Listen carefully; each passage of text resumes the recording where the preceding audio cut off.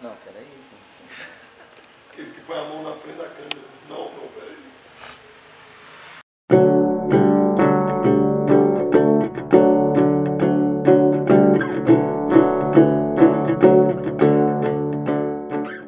Sou o Diego, coletivo Corrente Cultural Pós de Caldas. E eu vou no congresso por vários motivos. Só um minutinho. Alô, Dilma? Você é Dilma, Não, não, tá ruim mesmo. Precisa melhorar. Tava indo tão bem a cultura, agora. É. Não, depois eu te ligo, tô gravando aqui um negócio aqui. Então, é, desculpa aí, atender o telefone. Vou no congresso porque é, o movimento do Fora do Eixo é uma coisa que está revolucionando não só o Brasil, mas já contaminando já a América Latina.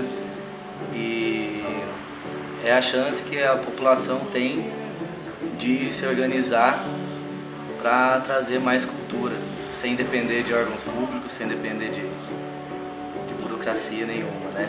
É o a gente quer, a gente faz. É isso aí. Eu vou.